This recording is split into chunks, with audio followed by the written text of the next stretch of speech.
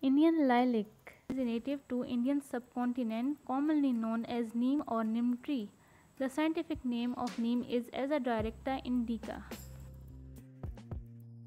The scientific classification of Azadirachta indica include kingdom Plantae, division Magnoliophyta, class Magnoliopsida, order Sapindales, family Meliaceae, genus Azadirachta, species Azadirachta indica.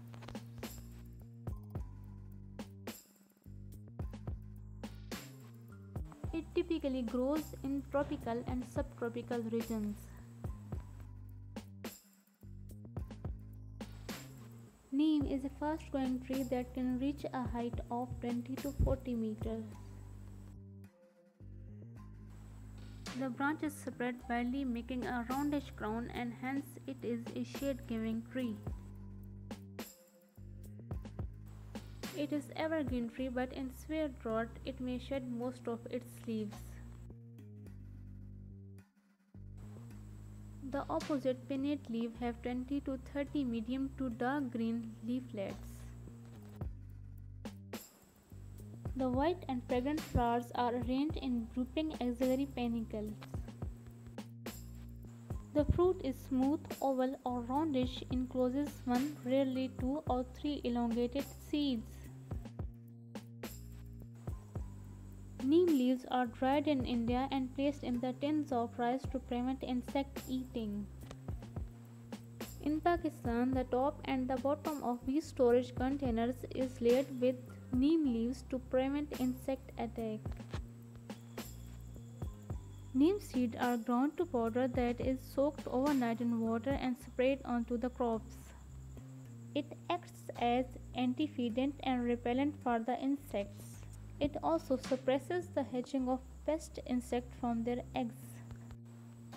The fruit and seed of neem are source of neem oil that avert termite attack. Neem leaves are eaten as a vegetable in many areas of India and Bengal. Neem gum is a rich source of protein. The juice of this plant is potent ingredient for a mixture of wall plaster. Neem extract is added to the fertilizer as a nitrification inhibitor. Traditionally, slender neem twigs are first chewed as a toothbrush and then split as a tongue cleaner. This practice has been in use in India, Africa, and the Middle East for centuries. This toothbrush is effective in reducing plaque and inflammation. 80% of India's supplies of neem oil now is used by neem oil soap manufacturers. This soap is cheap, antibacterial, antifungal, refreshing and moisturizing. Neem leaves are used as a forage for ruminants and rabbits. Neem leaves are effective for skin allergies and infections. Neem leaves are effective for fast growth of hairs when grind into a paste and applying regularly on hairs. Dr. Salimuzzaman Siddiqui was the first Pakistani scientist to bring antifungal, antibacterial and antiviral constituent of neem tree to the attention of natural products chemists.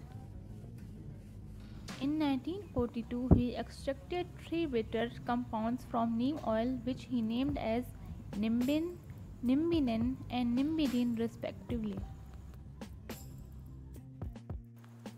The ingestion of neem for a long time causes serious side effects like vomiting, diarrhea, drowsiness, blood disorder, coma, miscarriage and even death.